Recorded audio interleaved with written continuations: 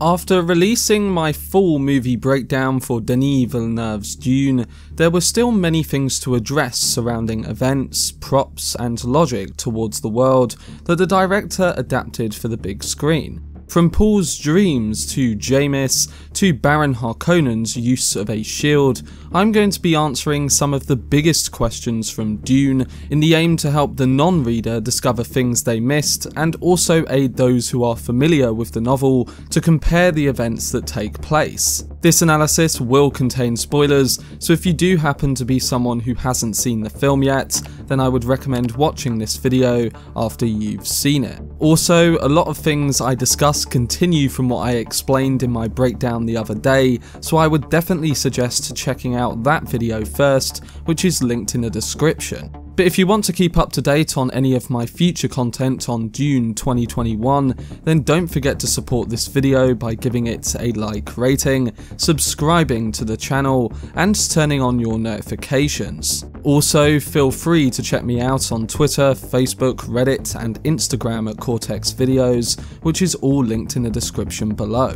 But without further ado, let's dive into some of the biggest questions from Dune Explained. Starting with the Gom Jabbar test, one of the questions that immediately comes to mind revolves around how much did Paul actually know and understand about the Bene Gesserit's abilities, and what did he know about his mother's connection to the Order? Well, it becomes clear that Paul had spent his entire life pampered on his family's planet, and we learn quite early on in a scene after the Gom Jabbar test that he also never really knew what it meant for his mother to be a Bene Gesserit. He had strange dreams, but he considers them to be only dreams. This is, of course, until the day his mother pulls him out of bed to meet the Reverend Mother, Bene Gesserit. We see that Helen Mohiam tortures and almost kills Paul while his own mother guards the door so that no one prevents this test from taking place. He thus discovers his mother is not totally devoted to him, to his father, and to their house, that she has another allegiance. And this is, of course, the Bene Gesserit. The Bene Gesserit are a sorority that has existed for thousands of years, serving as companions and advisors for the Emperor and the Great Houses. They also have their own objective and as an exclusive solidarity between members of this order. For thousands of years, they have practiced eugenics, pushing their members to have a daughter with a specific noble who would later marry another noble by seeking to create a powerful being. In the story, Jessica is only ordered to have daughters with Duke Leto, and the Bene Gesserit have the power to choose the sex of their baby, but she disobeyed and had a son. This is mentioned in the film in a conversation between the Reverend Mother and Lady Jessica, once again following the Gom scene. But in addition to Jessica disobeying, she decided in secret to teach Paul the knowledge of the sisterhood, which only women of this order are allowed to know. So by birth and knowledge, Paul has access to powers he shouldn't have and is believed to be the being that the order were waiting for, but arriving earlier than expected, which thwarts their plans. And this leads us into an interesting talking point. What are Paul's powers that we mostly see through his dreams in this opening chapter? To explain as simply as possible, Paul sees possible futures but nothing written in stone. An example in the film that makes this more clear is the moment towards the end where Paul and Jessica are still on the run in the desert and they eventually attract a gigantic sandworm. In attracting this worm, Paul has made a mistake which results in Jamis, the Fremen warrior he fights in the climactic scene, not trusting him, ultimately leading to the character's death. If Paul hadn't attracted the sandworm like this, then maybe Jamis could have become the friend of his visions, as we saw on multiple occasions throughout the film. In addition, Paul's visions are sometimes more symbolic than an actual transcript of things to come. Jamis says in one of them, he'll show him the way of the desert. The Fremen are a rough pact with their own specific custom. By challenging and getting Paul to kill him, Jamis shows the young Atreides the way his people do things, which allows Paul to be accepted by them. So to summarise this answer, it all comes down to Paul seeing different possible futures. In one of the futures, Jamis was his friend, but Paul's actions created a series of events that prevented the future he saw from happening. And at the same time, the visions could also be symbolic, which is something that will likely be explored more deeply in the next film. And speaking of the Fremen, this is where we can begin to talk about and explain their big prophecy. It's made clear to us in the film that the Fremen, the natives of Arrakis, believe that Jessica and Paul are fulfillers of a prophecy that claims a Bene Gesserit woman will arrive on Arrakis with a son who will lead them to terraform the Arrakis desert environment into a lush green world. Throughout the film, from the moment the Atreides arrive on Arrakis, the Fremen chant and refer to Paul as the Lisan al-Gaib, this is known as the voice from the outer world and is outlined in Fremen messianic legends heavily influenced by the Bene Gesserit's Missionaria uh, Protectiva. It is also translated as the giver of water, Towards the end of the film, the Fremen, or in particular Chani, also names Paul the Mahdi. The difference between these is that the Lisan al-Ghaib is defined as prophet and talker, whereas the Mahdi is defined as the saviour and doer. Effectively, the al-Ghaib prophesies the incoming Mahdi, who is going to get the job done. And after Paul wins the fatal fight at the end of the film, the Fremen clearly begin to see the young Duke as their Mahdi. So I hope that's more clear now, as some may get confused with the evident terms, and it's understandable why. But keeping on course with the Fremen, it's also important that we start to define some of the props they use and their demonstrated attraction to the importance of water. Starting with the still suits, you really get a sense of their purpose as not just protective clothing, but as a symbiotic part of a being's survival in the desert the value of water and the Fremen customs around the stillsuits, and all of it is very well portrayed in the movie. A stillsuit is a full body suit worn in the open desert on the planet Arrakis that was designed to preserve the body's moisture. It consisted of various layers that would absorb the body's moisture through sweating and urination, and then filter the impurities so that drinkable water would be circulated to catch pockets. The individual could then drink the reclaimed water from a tube attached to the neck. A still suit kept in working order and maintained properly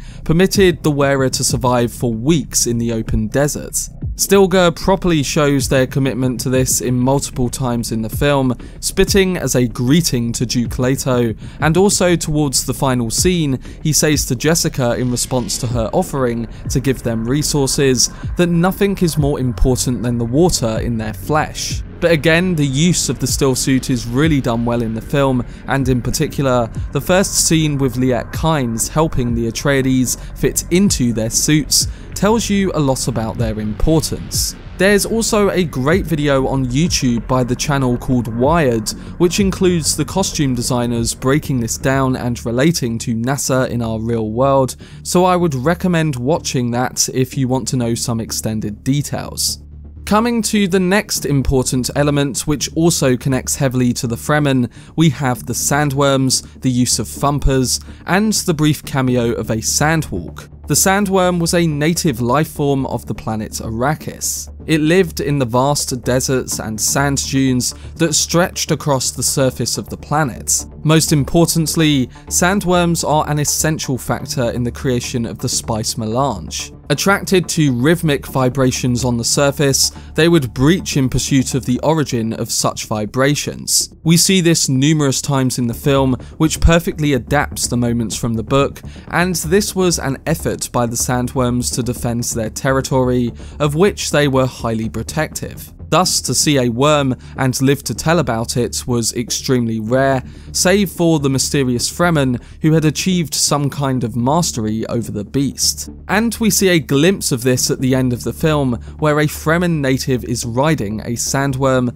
something that Dune Part 2 is going to get into much more. But when it comes to the Fremen using thumpers, how does this device attract the massive sandworms, and does it correlate with the appearance in which a worm confronts Jessica and Paul before they meet with the Fremen? Well, the thumper is the noise generator which we also see used by Liet Kynes earlier on, where she attracts the worms by their rhythmic noises. But then there's also that confrontation scene from the end of the first trailer, which is put together the way it was so that it's deliberately ambiguous. When the worm stops, it comes out the sand and looks down at Paul for a long period of time before a thumper is even activated by the Fremen. Essentially, we don't know if the worm recognises Paul or whether it is confused by the thumper. If it's the former, then it would tie into the Spice Harvester scene where Paul is communicating with the worm, calling it an old man of the desert,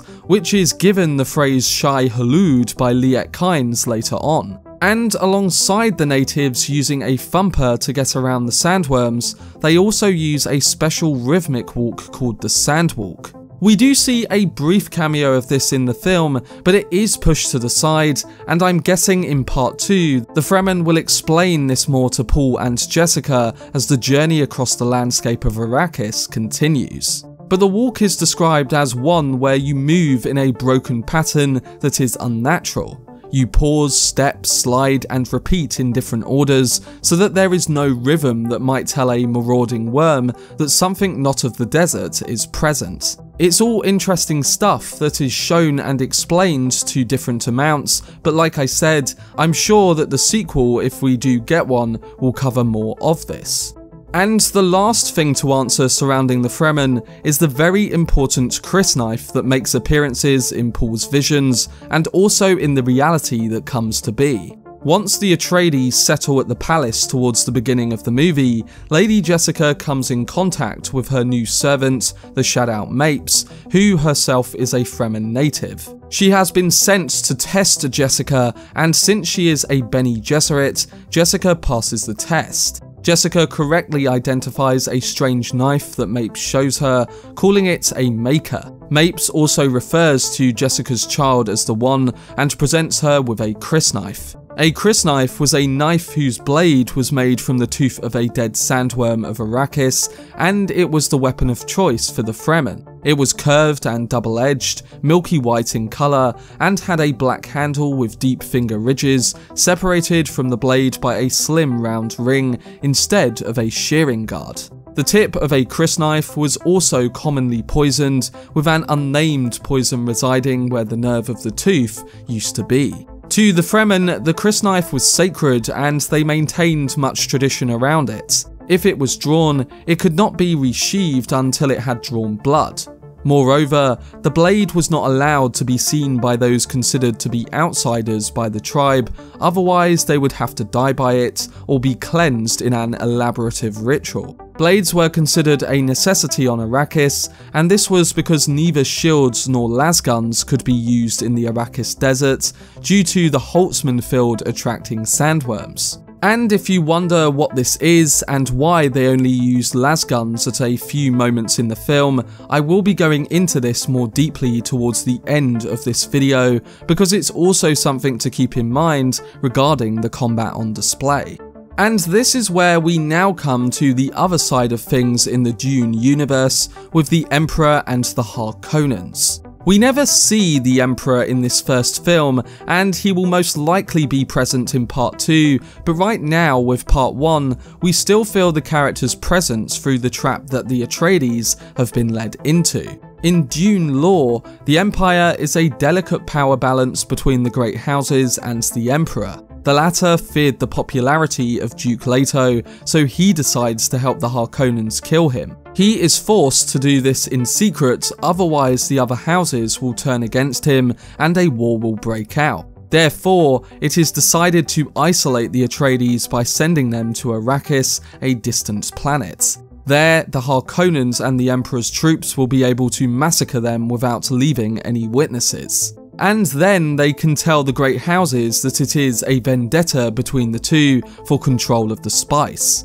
House Harkonnen will be frowned upon by the Great Houses, but they will not be able to say anything because it is an old rivalry and there are no witnesses to tell how the clash took place. This is something that is briefly alluded to by characters in the film, but respectfully, Denis Villeneuve focuses the story on the shocking nature of the betrayal. And if you are someone who hasn't read the book, don't feel bad about being lost or not comprehending this element of the events, because it is simply a piece of background information that will be more clear once the Emperor is introduced and the characters that surround him in a potential future installment. And speaking of shocking moments that non-book readers may want to know more about, well, Dr. Yueh and Baron Harkonnen are involved in one of the biggest in the film. It all begins when later in the movie, Dr. Yueh warns Paul to beware of the Bene Gesserit as he genuinely cares about his survival. We know this because after the events take place, it's the reason why he placed a bag with things to allow Paul and Jessica to survive in the desert, with him suspecting that they would manage to get rid of their jailers. And speaking of Dr. Yueh, a man who has Bene Gesserit connections through his wife, we learn that he is grieving over her capture and torture by the Harkonnens. He agreed to sacrifice the entire Atreides house in exchange for a chance to save her. But he isn't fooled by the Baron either, with her already having been killed, ultimately fearing this and leading to the Suk Doctor giving Duke Leto poison to kill the Baron. There are a lot of reasons why Yueh gives Leto the tooth rather than installing it himself. Yueh's a doctor, he knows more than anyone how strong the will to survive is and how hard it is to take one's own life. He also knows deep down that he's a weak man, which is why the Harkonnens were able to leverage him. So he knows that, if given the opportunity, he may hesitate and not be capable of killing himself. Leto's probably strong enough to do the job, and handing off the job to Leto is a cowardly move anyhow, which is part of Yueh's character anyway. In addition, there's an act of compassion in giving Leto an easy way out. Leto will likely suffer much greater tortures at the hand of the Baron than Yueh will. This decision by Yueh spares him that. The Baron is of course paranoid and has a personal shield on him all the time. The idea was that Leto, who seems helpless, would be able to lure the Baron closer than Yueh would ever be able to get. Remember, Yueh is being coerced. He's not a real Harkonnen retainer, he's an enemy that is being coerced. So, of course, the Baron would never drop his guard around Yueh. On top of this, when it comes to the shocking moment when Duke Leto bites down on the tooth and releases the poisonous gas, the Baron's personal shield slows molecules down and prevents most of the poison from ever coming into contact with him. He also lunges back using suspensors, and the Seleucid mud bath taken by the Baron in a later scene is again something to think about. But to be honest, he mainly takes these to relieve his health problems. And according to the book, yes, the Baron was very lucky in this situation, but his idea to wear a shield and reliance on it in the scene is reflective to the most part of what we see in the novel, and it really helps to deliver on the first act's growing tension.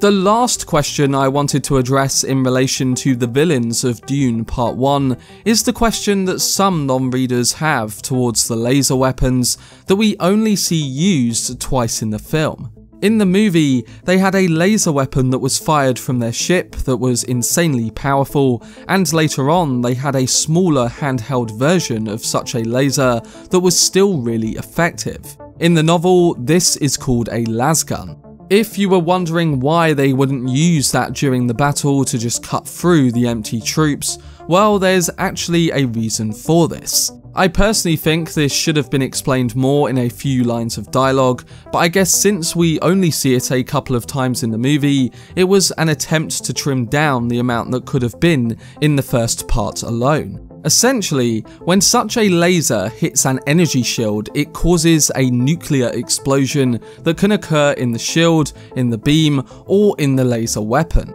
This means you can't beam enemy forces. But could you make a simple nuke with that? Could you put an active shield and a laser gun in a box with a timer attached to the gun, making it shoot at the shield in X amount of seconds and drop the box from high up? And is that concept explored further in the books? Ultimately, it's to justify melee combat in a spacefaring civilization, but as far as excuses go, this one is actually due to world building. In Dune, the Holtzman effect has something to do with interaction of particles on a subatomic scale. It allowed them to create Holtzman drives used to bridge spacetime for faster than light travel, Holtzman shields for personal defense, and suspensors to hover. So all of a sudden, everyone could get a personal energy shield, one that would not allow fast moving objects through, with guns now useless, and only slow moving matter would pass so that the user doesn't suffocate. This opens a possibility for knives and swords. The lasguns and their energy beam reacts with the Holtzman field of the shield and results in a nuclear reaction. This kills both the wearer and the attacker,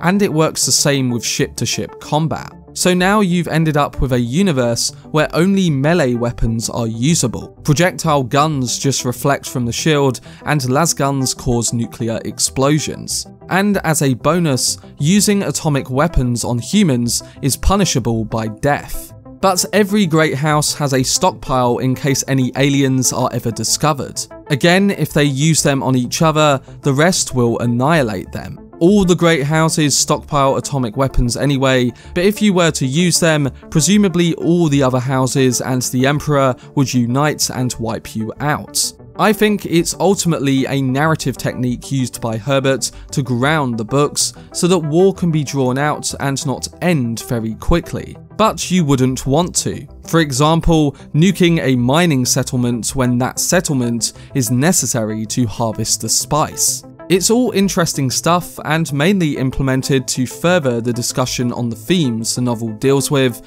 and that's the case with much of the stuff I have discussed in this video. It's all very dense, but I'm hoping that some of this will be clarified for the non-book reader as we get into Dune Part 2.